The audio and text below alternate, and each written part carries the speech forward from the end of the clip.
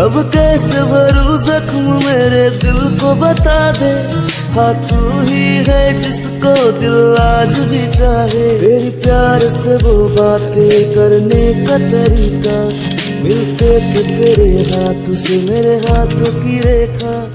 मैं खोया